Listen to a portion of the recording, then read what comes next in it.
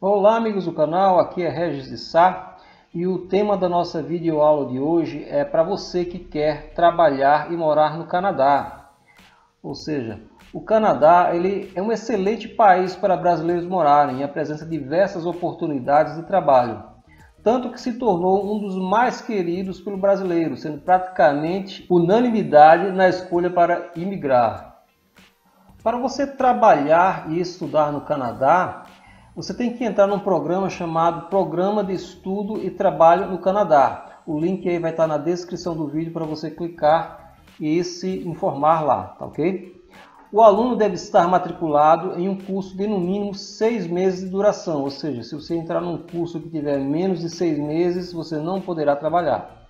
Tá? A escola é designada pelo governo canadense, ou seja, não é você que vai escolher lá a escola, qualquer um, não pode ser não ela é designada pelo governo canadense, ok? Os cursos com menos de seis meses não precisa visto de estudante, podendo ser apenas visto de visitante. Porém, o visto de visitante não permite direito ao trabalho. Para ter a permissão para trabalhar, o aluno deve estar matriculado em um curso vocacional, oferecido por uma instituição de ensino vocacional, conhecido como Career College. Esse curso tem que ter caráter profissional. Para ter permissão para trabalhar, o aluno tem que ter, primeiro, ensino médio completo e tem que ter também um inglês intermediário. Não pode ser aquele inglês meia boca não aí, você tem que saber pelo menos um inglês intermediário.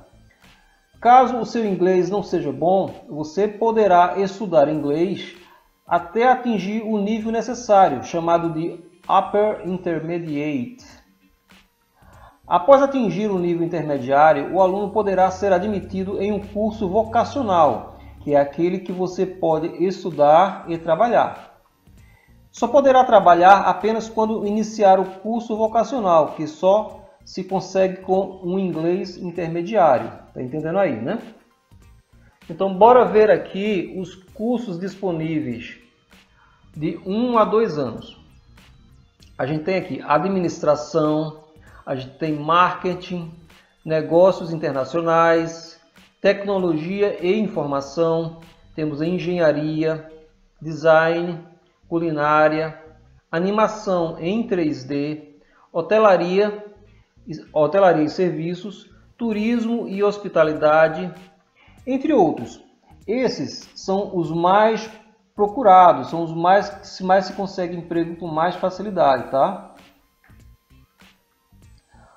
Os trabalhos conseguidos por brasileiros são, geralmente, né, na maioria das vezes, são garçom, ajudante de cozinha, vendedor de loja, caixa em loja, barista em cafeteria.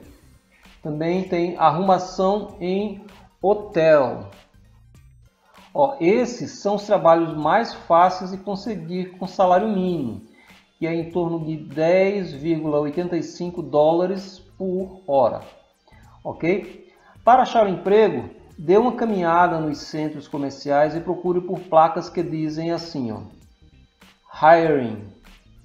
E, e e, e também hiring ou need help. A palavra need help quer dizer precisamos de ajuda. E hiring quer dizer contratação. Estou deixando um link aí na descrição para quem quiser se cadastrar nas agências de intercâmbio. É, tem um link lá para você se cadastrar e também tem os telefones. Inclusive tem o telefone e o endereço de quem quer, quem mora em Recife, né, que queira se, se cadastrar lá. Recife ou Pernambuco, né? Que quem, quem mora em Recife está mais fácil. Agora quem está no interior tem que se deslocar para Recife para fazer o cadastro lá é, presencial lá. Mas tem um link lá para o cadastro também via internet. Então dá uma olhada lá se você quiser e se cadastra lá, ok? Tá certo, gente? Esse é o vídeo que eu queria deixar para vocês. Espero que tenha sido útil é, para quem quer conhecer o Canadá, quem quer ter uma experiência de morar em um outro país, que tenha gostado e que, possa ter, que eu possa ter ajudado, tá? É, eu vejo vocês em um outro vídeo então. Não se esqueça de curtir, compartilhar e de se inscrever no canal, tá ok? Então, abraço para vocês e vejo vocês no próximo vídeo. Tchau, gente!